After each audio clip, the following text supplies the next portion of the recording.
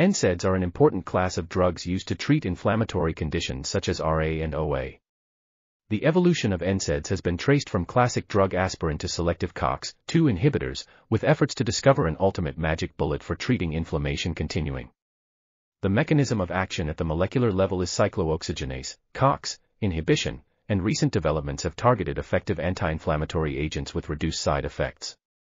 Literature data has been presented on the development of NSAIDs, their mechanism of action, the structural basis for COX inhibition, and recent discoveries.